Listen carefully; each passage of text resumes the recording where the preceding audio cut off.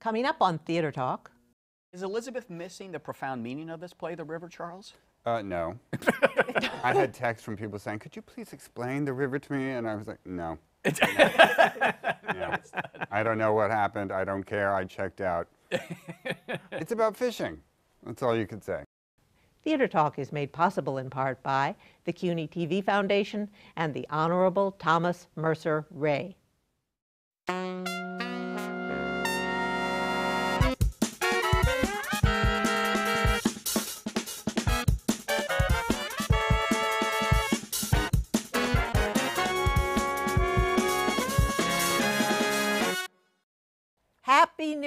Happy New Year. This is Theater Talk. I'm Susan Haskins. And I'm Michael Riedel of the New York Post. And we are midway through the Broadway season.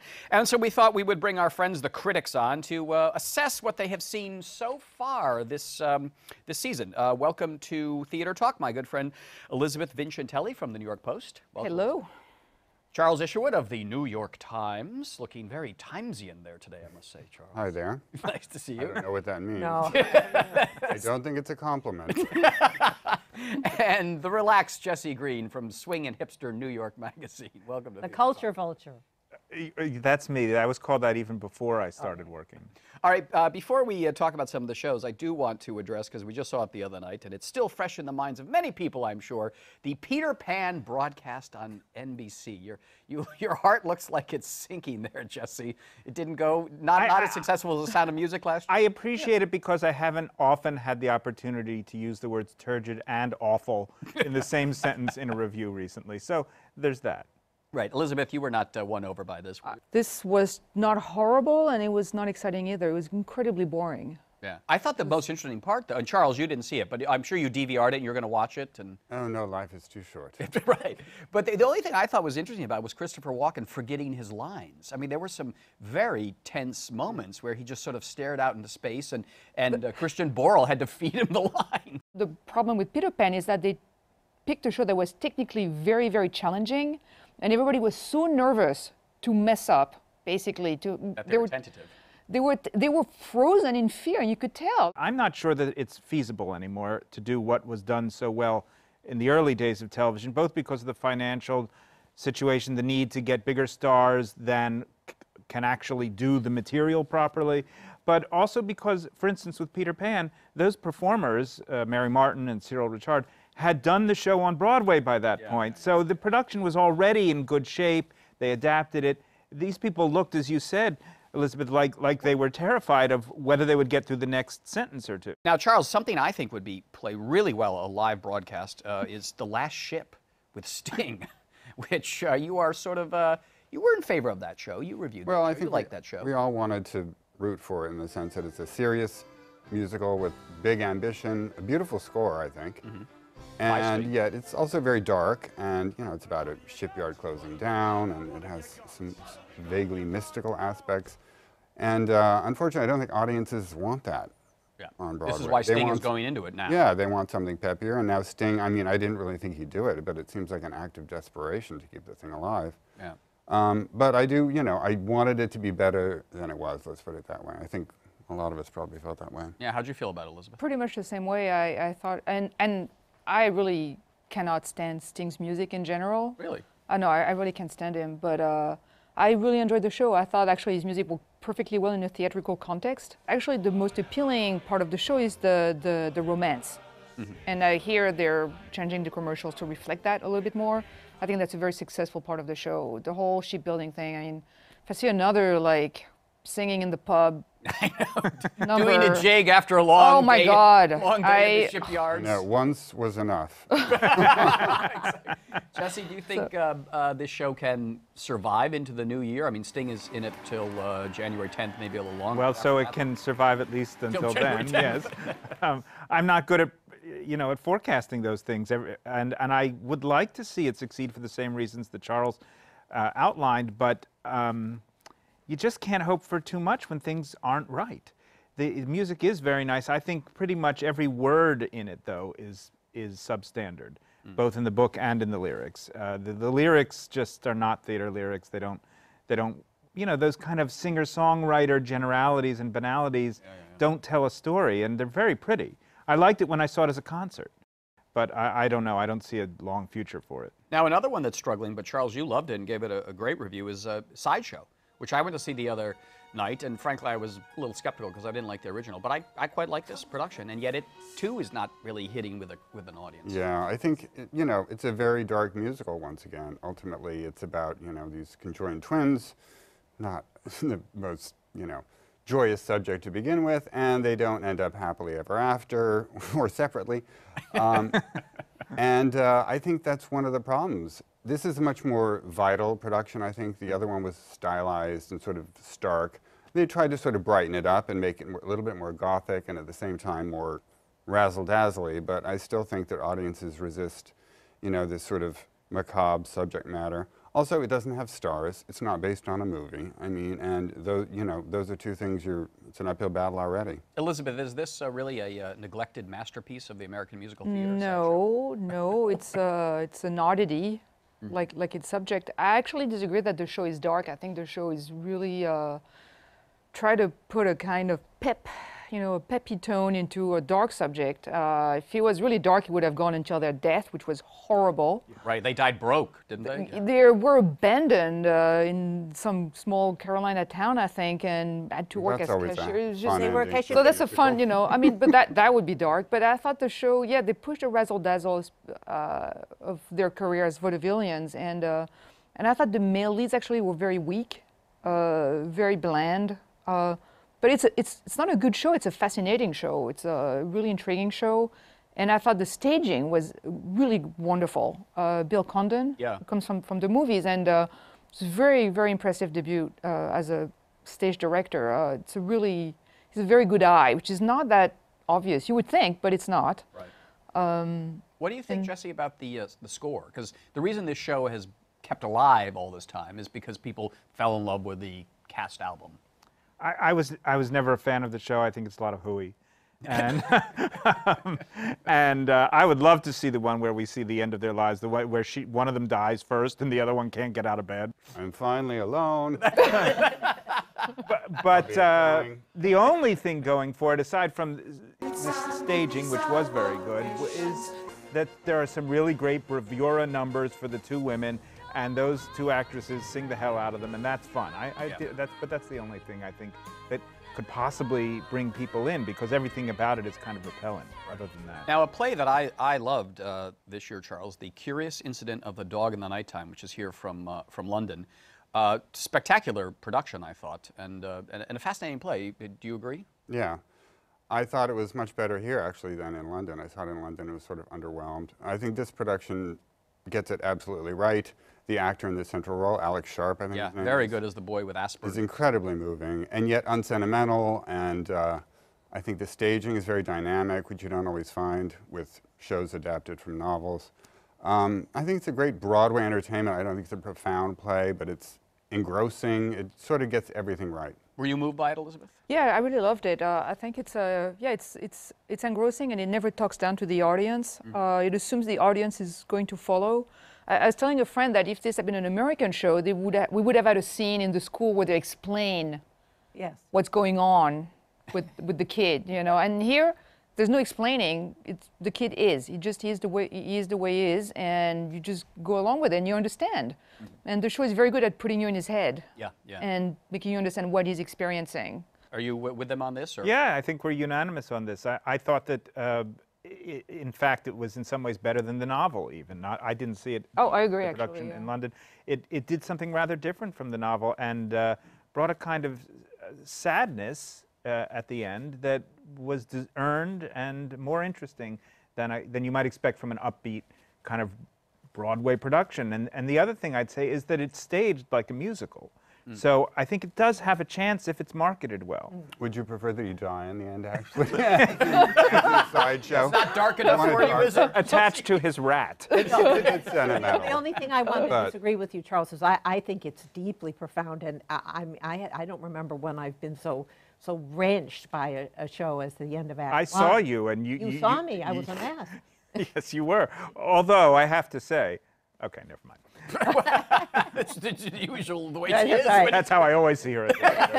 Forever in tears. Um, now, I thought this one missed a little bit here, and it- I think it's a great, great play, but I was a little disappointed in this production. Uh, Edward Albee's A Delicate Balance. Uh, is it a masterpiece, or is it a lot of hooey, Charles? I think it's a great play. This production, I don't think, really gelled in a weird way. Some of the acting was good at times, and then somebody else would be off. John Lithgow, Glenn Close. Glenn Close, Lindsay Duncan, who you know I think is fantastic, but you know she kept reverting in- when I saw it to a British accent, which sort of took me out of the play.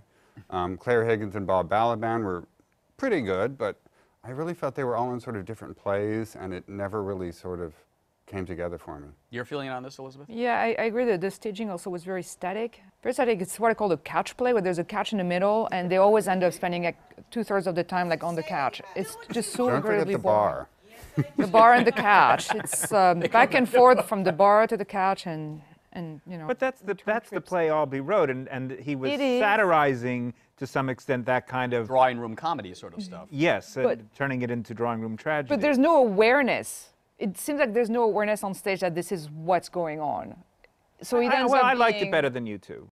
A friend of mine went to see an early uh, preview of it. and It was the typical um, matinee lady audience. And at the end of the um, first act, this woman came up to my friend. She said, What are they afraid of? I don't understand this. and we should say for people who don't know the play, it's about this comfortable upper class family, and the neighbors come next door, and the neighbors are terrified now of being alone, and they kind of move into the house. I, I, I found it existentially dreadful, which seems to be my thing today, and yet I thought it was really very funny, which an Albee play must be. As a big fan of existential nihilism, I, I would have expected to love this, but I, it completely left me cold. Now, speaking of existential, you can take it with you, a Kaufman and a Hart play, which has some, I don't know, would you say bohemian or existential qualities to this No. old? No, no, no. But Do you like this old play? That's the expert. I, the expert on existential nihilism.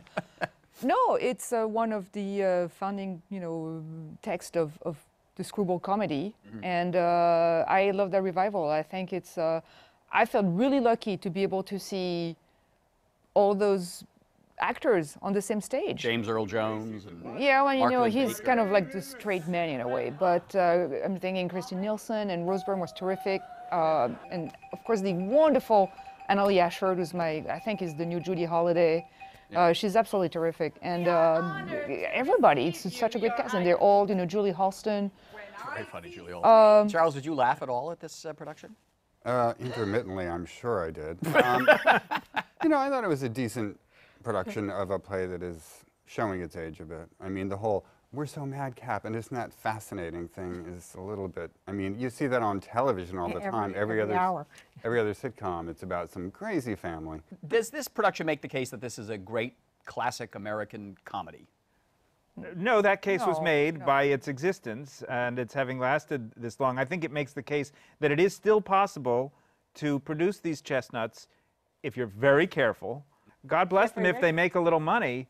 You know, maybe we'll get a chance to see some of the foundational American plays, which indeed have become the basis of every television show on earth, but it's good to see where they came from. And I think it's doing very well because they're bringing in Richard Thomas and Anna Chlumsky to extend the run. The other one now, it's only a play, which uh, is the big, big hit of the season with like 10 million plus advance and Nathan Lane and Matthew Broderick. This play is so depressing. I can't even, oh.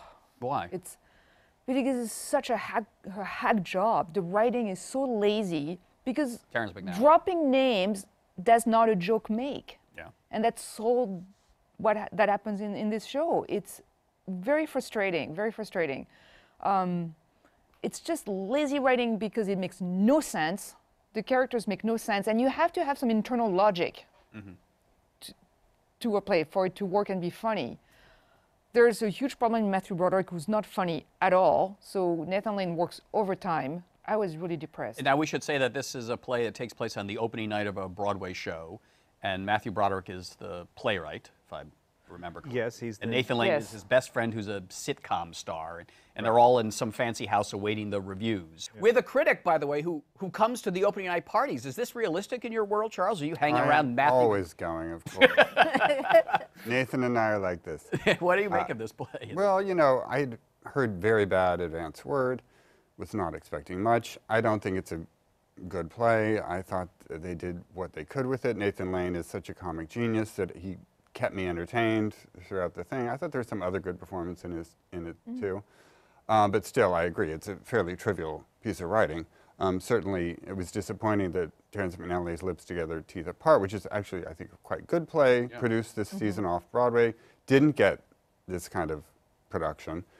Um, and it was so it was sort of like the the bad play got all the attention, and the good one was sort of not done very well. So, what do we make of the fact that we did And not find it very funny? Although Nathan Lane, I mean, this, there were some of the performances made up for what might be seen as a lack of humor in the writing, but but the people in the theater are finding it funny. People are. That's They're it. screaming. People are. I, I mean, I sat there. It was one of those experiences where you have, where the more the audience goes crazy, the the, the more you hate it because you are just not in on any of the laughs. So, The lend me I, a uh, tenor phenomenon. Hey, I want to go to another play that depressed uh, Elisabeth. Oh, God. And that is The River.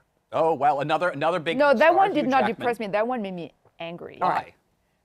Because You're I a Hugh thought. Jackman hater. No, I love Hugh Jackman actually. I, I, I love him. I'm a big fan. But it's, why did he bother with his non-play? It is so incredibly pretentious. Actually, pretentious. I don't like using the word pretentious because that's not the right word there. But uh, because you are pretentious, darling, that's right.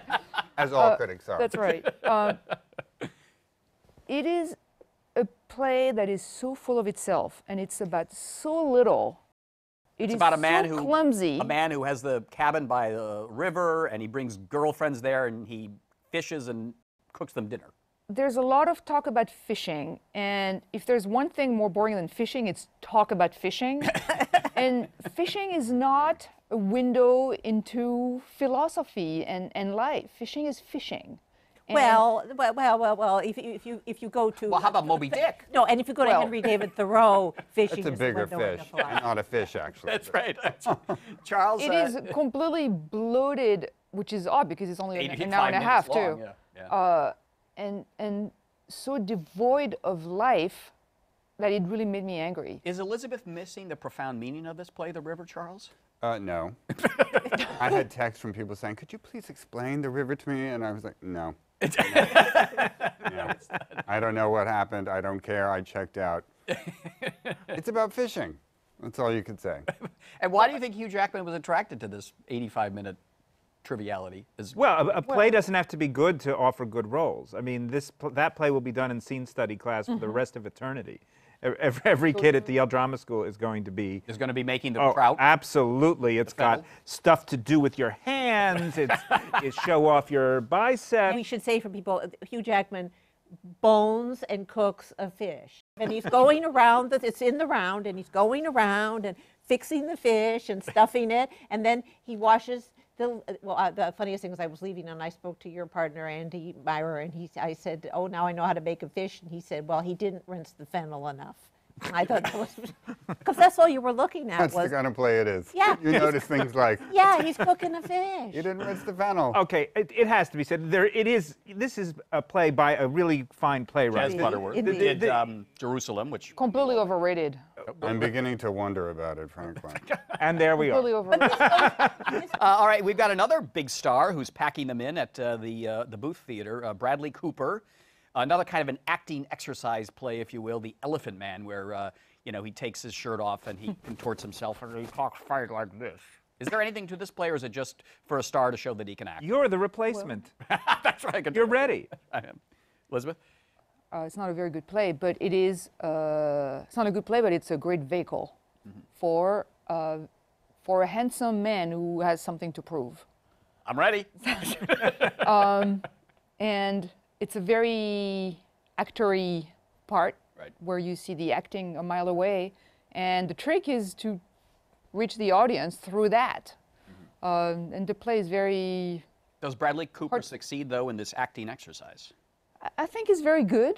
I didn't find it transcendent but i thought he was very good and the production is very good. It's a very kind of sleek but not overly sleek uh, production. It's very well done patricia clarkson is wonderful and she hasn't been on broadway in a long time i think uh, 20 years almost or something like that which is surprising but uh, so it's a good production but i, I wasn't moved I, I didn't cry for instance and i tend to cry i'm a crier Now I'm shocked. No, I, I, I am a crier. Susan, I can accept. but- I'm a crier. I did tear up a little bit when he goes, please help me. Uh, but uh, You mean when he went? that's right. okay. Sounds But like no, you're talking about the didn't- fly. Help me. See, it didn't go into a full blown, you know, Yeah. get out your handkerchief moment. Does Bradley Cooper show us he's a serious stage actor in this production? He's very committed to the. Yeah, the I, yeah, and and he's been on stage before. It's it's not Yes. like he, he grew up in a cage in Hollywood, you know. so I'm, I'm not very surprised about that. Um, I was pleased uh, with the whole production, as you said, and we also should mention Alessandro Nivola, Very good actor. who plays Treves, the doctor. Who he's just a great male actor, who's really delivers. He's sexy, he's smart, uh, and uh, the And production. he never looks like he's trying too hard. yeah, it's it's Very comfortable. it's very well balanced. It's such a compelling topic, and uh, I thought Bradley Cooper was wonderful. I was very, I was surprised because I just wasn't expecting him to be so good. But it, it, they, the, for instance, they show pictures of the Elephant Man. They bring in the real John.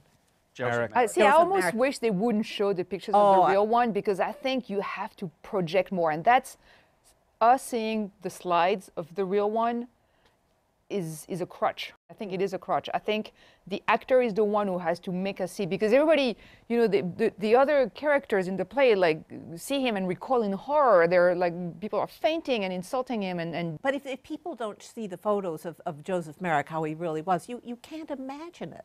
Well, that's, That's the the actor's. You job. can't imagine. That's the actor's job. I'm sorry, you have to, and, and the play, you have to Which kind is of why work it's it. so strange that the tradition is that it's played by beautiful young or beautiful Well, men. that's the thing, though. Say, you know, that, that's that's, a- that's the the dog. I will ironic commentary. Well, but I think a once you person has start- to play a hideous person. That's, Once you start that's the point looking of play, through Jesse. that, the play be- sort of begins to fall apart. So Well, there's not much of a play there to begin with. Come on. There's it's good solid. scenes. It's it's well made. And it's you a know, great it's story. Kind of, We got to wrap it up, but I want to ask you guys, uh, what are you looking forward to uh, in the the latter half of the Broadway season? I know Charles, um, uh, you you are on your way to uh, London to. I think you're going to be talking to Helen Mirren, who's coming in the audience. Have you seen that uh, production yet? I saw the NT Live Right, production. It's National very Theatre one. entertaining. It's quite quite a charming play. It's not. It's a bit like The Queen, but a little bit more entertaining. I mean, the movie The Queen. but Helen Mirren is wonderful. Isn't Helen Mirren looks to be amazing. But there's a lot of British stuff coming. I mean, I can't say I'm looking forward to two parts of Wolf Hall. What is that? What is that, three and a the half Hilary hours each? Mantel. Uh, novel? Yeah. It's a London heavy spring season, I think. There's also the Skylight, which I am looking forward to. Wonderful play by David Hare. Well, a David Hare play that's that's emotional. I mean, so many of his plays are mm, cerebral, Right. political. But this is a, a Skylight is. A you beautiful- say that like it's a bad thing. uh, Jesse, anything on your uh, uh, list of things? to Well, keep your eyes on? s- since you've covered the British imports, uh, I'm very much looking forward to the transfer from off Broadway of the musical Fun Home. Uh, based What's on, that about? Well, you're going to love this one. Let me just let's start with the that it takes place in a family funeral home. Oh, God. Okay, and the father's gay and the daughter's a lesbian, and you're you're just really there for this. But it's terrific. It, it was done at the Public Theater last year. I don't know. Maybe I don't know if you guys liked it or not. But Jean, Ches- I Jean liked it. Tesori. Not Janine so. Tesori, Lisa. You didn't care for it, Charles? I mean, you know, I admired it, but I did not I- think that it was uh, structurally very well put together. I, uh, I I agree with Charles. It sounds I sounds. liked it, but I didn't love it. It sounds to me like this is another one that's going to be like a sideshow or last ship. It's going to move to to Broadway with a good review from Jesse Green, and nobody's going to go buy tickets to see it. It's going to be a hard sell. It, it is a hard But- sell, and they know that, and they, But- they put it in the smallest is- theater on Broadway. which is not a you know. But it's been a very weak season for new musicals, Yeah. at least so far. Are you looking forward to any? Is there a mu- musical coming in the spring that you think is going to be exciting, Elisabeth? musicals. The show that I'm really looking forward to seeing again in the spring, on, we're talking Broadway. Yeah, well, I'm looking forward to Hand to God, I don't even know what that which is Hand to God is a very surprising transfer. Uh, it started at Ensemble Studio Theater, which is tiny, like a few years ago, and then it kind of worked its way up to a run at MCC of Broadway, and it's about this uh, Christian teen who goes to a, uh, a Christian ministry, a puppet ministry, and he has this hand puppet who's, which is kind of either demonic or a projection of the. Anyway, it is completely insane and one of the funniest things I've seen in years, um, and features a fantastic and I would say, Tony worthy performance by Steven Boyer as the As the puppet? as the kid. Well, both as the kid. He creates these two very distinct characters, basically talking to his hand the entire time, and it's absolutely fantastic. Hmm. And I can't believe they're transferring it. It's It's going to Broadway. it's going to Broadway. Have you guys seen it? I've seen it twice. And what do you think, Charles? I'm with you on this one. Talk to We're- the hand. rare accord. You, oh, you like this? Oh, I think it's, a very funny play. I, whether it should incredible. be on Broadway is another story. Well- uh, but you know, it'll be nice to see a new comedy on Broadway. You don't really see very many of those. All right, you heard it here first on Theater Talk. Hand to God is the show to watch in the spring. All right, Jesse Green from New York Magazine, thank you for being our guest tonight on Theater Talk. Charles Isherwood of the New York Times, good to see you. Have fun in London. you, thank Give you. my best to the Queen, Helen. Will do. And my friend Elisabeth Vincentelli from the Post, thank you for the recommendation of Hand to, Wow. to God. I'm sure you'll like it. It's demonic puppets. It's Right really up your alley. right up my alley. Thank you all for being our guest tonight on Theater Talk. It's all right. It's all right. What was that thing that they used to It's do? all right. It's all right. all right. It's all right.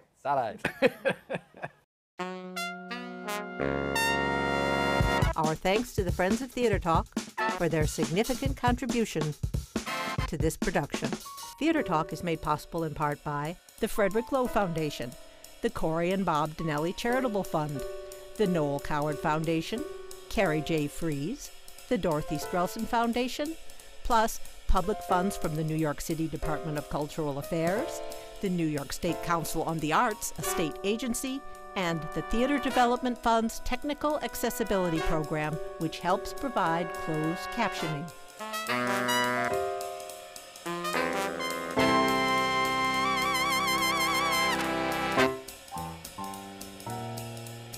We welcome your questions or comments for Theater Talk. Thank you and good night.